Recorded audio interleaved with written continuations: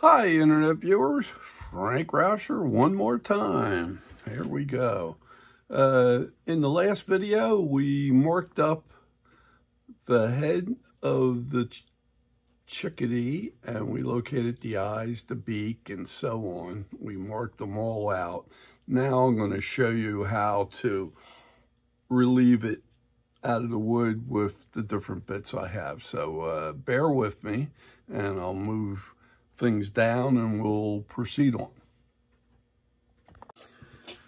Okay. One thing I want to do that's a little different than what I did from the last video was we had marked out the beak here and we have this beak line which is the reference line that I had coming through on both sides. Uh, what I want to do on the beak line, the beak is where it's split in half here, is slightly arced up and then slightly arced back down again right to the point. So it bends up a little bit. So I'm going to ask you to come off the tip of the beak very slightly, come up above and then come back down. So it looks like it just barely has a, a slight arc. Now, in the interim while I was moving the camera around, I spilled some water on the on the the blank. So if you see this as being dark here, this is all wet, but we're doing everything up front here, thank God, which is dry. And I just happened to make a mess here at the time. So I'm going to end up putting my Optivisors on, which are these guys here. And I always try to use more magnification than I can so I can see what I'm doing. So I'm going to come in and I'm going to burn. I got my burner up. Yep, and run it. And I'm going to stick my burning pen right in and arc that a little bit.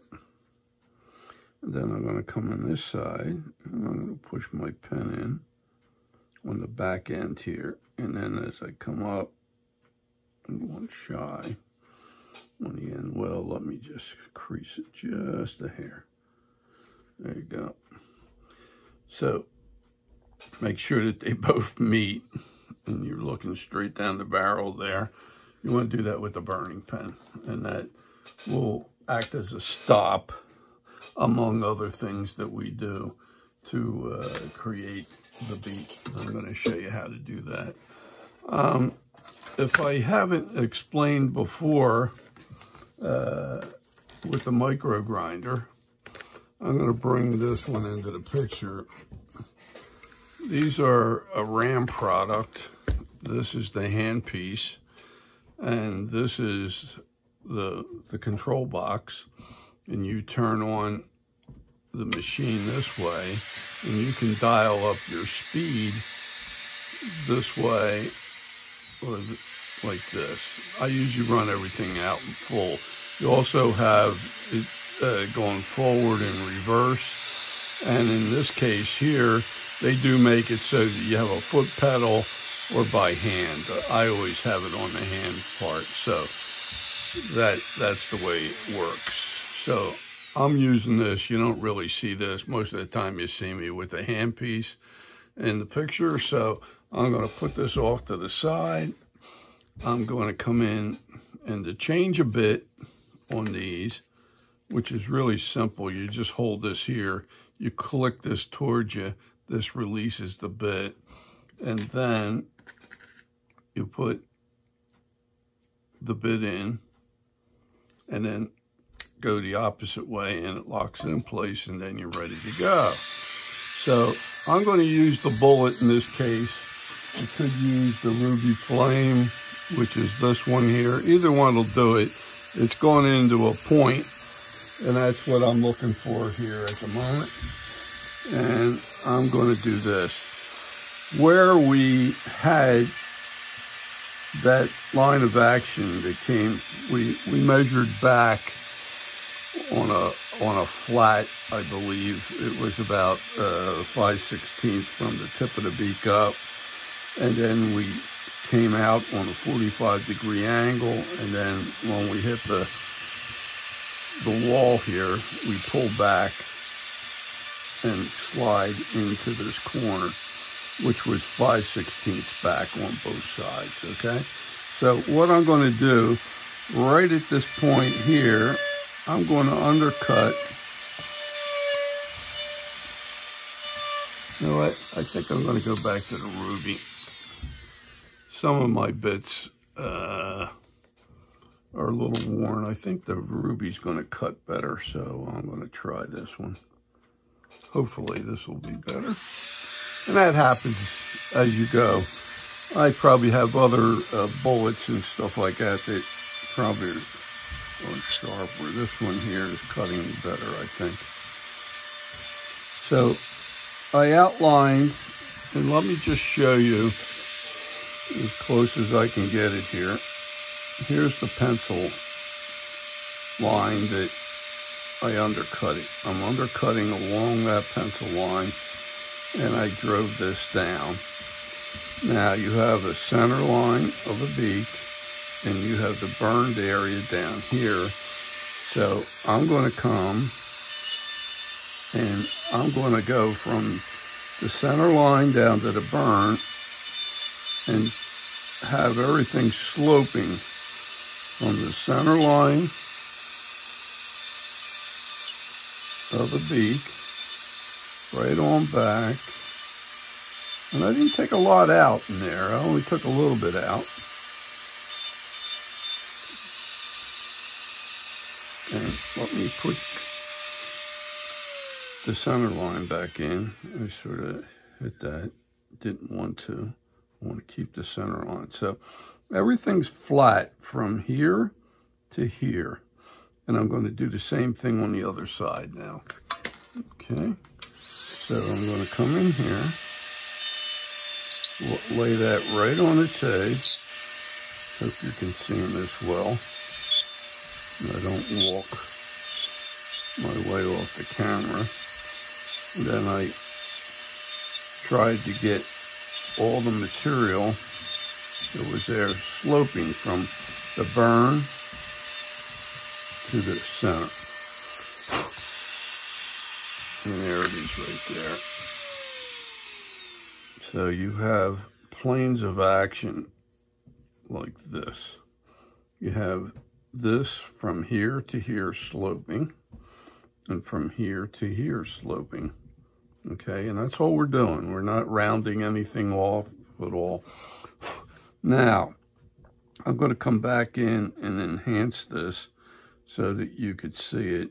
We, we came out coming forward with like a slight arc.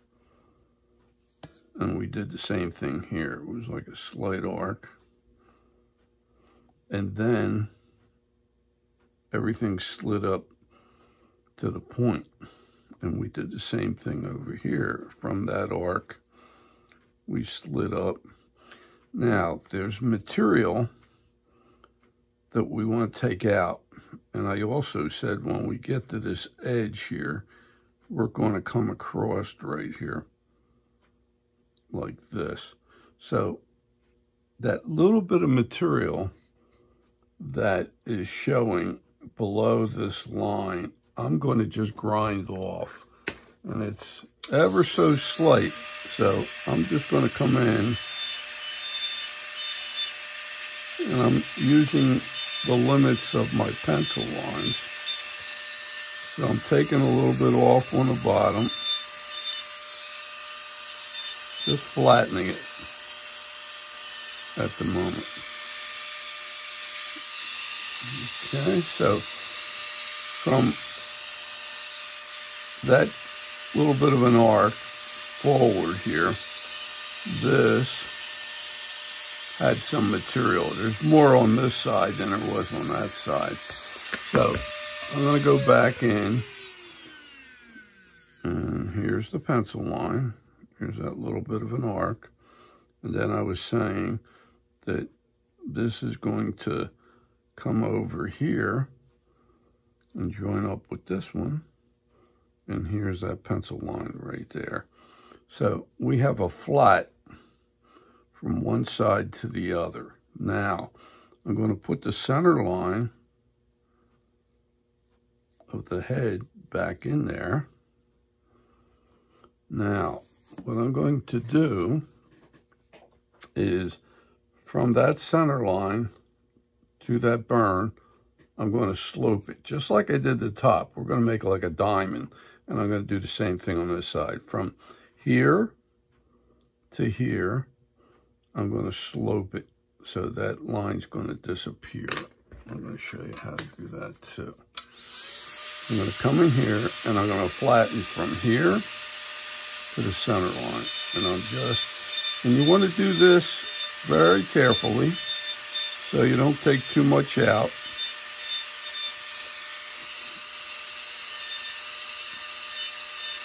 Because it's only taking a little bit off at this stage of the game. And then I'm doing the same thing on this side.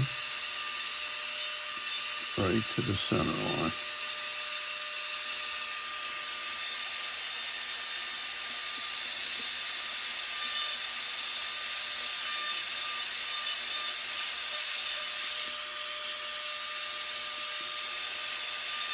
So what we have is everything coming to a point in your angle this way and this way and on the bottom this way and this way.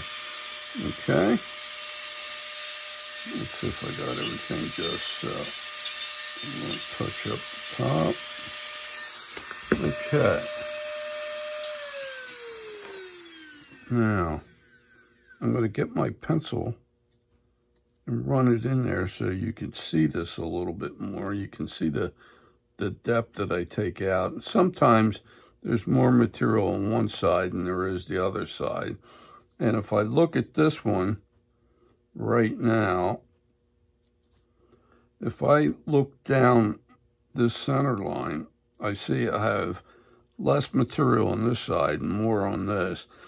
And what's happening is the beak the width of the beak is from the center line out an eighth of an inch. So this is probably right on the money. This one has to come in a little bit more. So what I'm going to do right along here and right along here, I hope you can see all this, I am going to take this down a little bit, right in the corner, just a hair, because it's just a little too full. So on this side, there was more material. So this is wider right at this spot back in the corner here. So I'm going to come in and just take that in a little bit like that. I didn't lose the burn, so uh, that's just lucky, or I would go back in and reburn it. Then I'm going to get the slope back in, both top and bottom. And I'll take a look at again. Yeah, we're pretty close now. Okay, so I don't know if you see that well. My thing plugged in there. So we have quadrants here now. We have all this sloping up. This is sloping up. This is sloping up and this is sloping up and they're almost flat, okay? And that's what we want right now. Now, uh, we're going to leave the beak go for the moment and then we're going to come in and we're going to drill the eyes out. And I'm going to show you how to do that.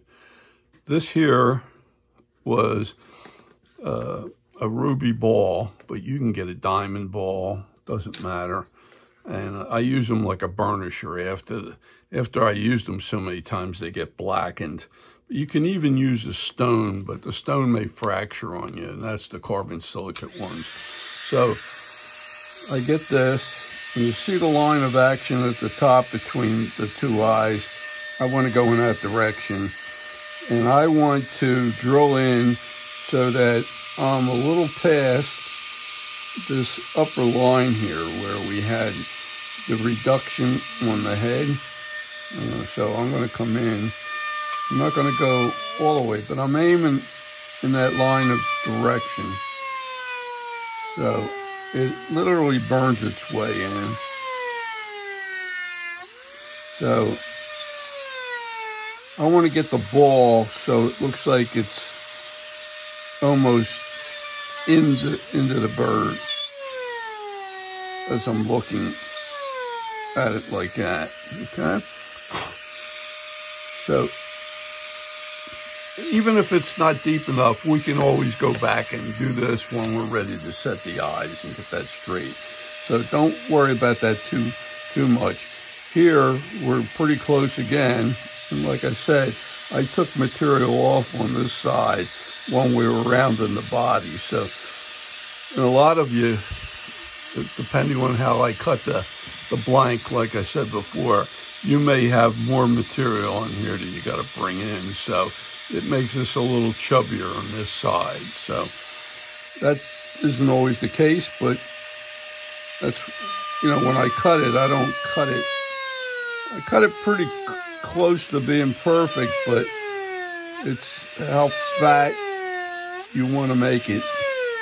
Now I'm drilling this eye out, and the ball, if I put it in there, is almost inside there. So you can get the ball that looks like it went into the wood, and that's good enough, okay, for now.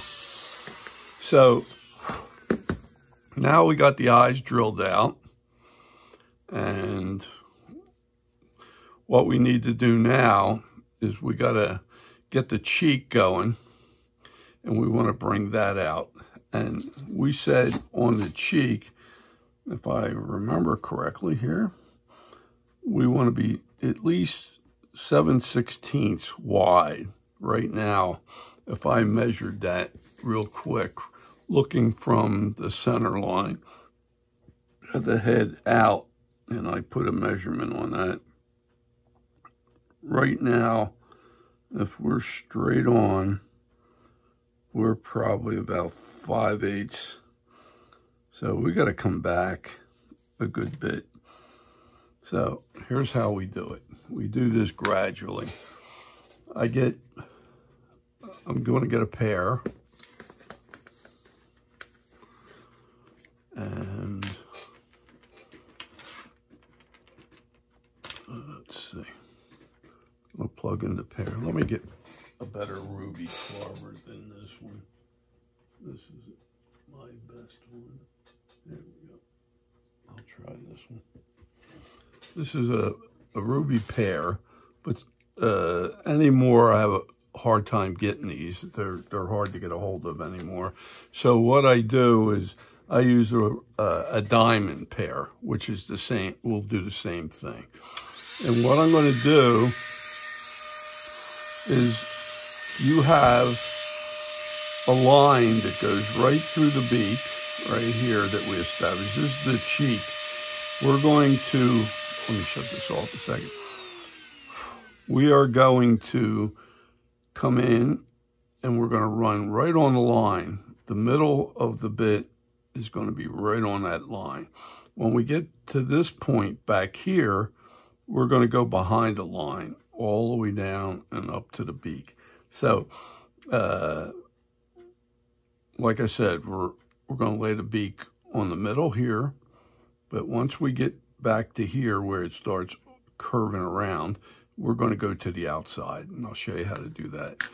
And this is a channel. This is an eye channel that is here. And, it, and actually the channel is going to be going out further. But right at the moment, we're going to lay this bit right on the line. The line will disappear. You're going to undercut right through there, like so. You're not going to come up onto the beak yet. You want to get that channel in there. Now, if you can see from the center out to this line, we got to go at least that far in on this channel. So I need to take more off. So I'm going to lay this in here. And you can see, if I put a pencil mark, I mean a pencil point right there, I'm getting close to that pencil looking straight down. So I'm trying to go to the depth and that's pretty close. And I'm going to do the same thing on the other side here. I'm going to lay this right on that line and bring it back.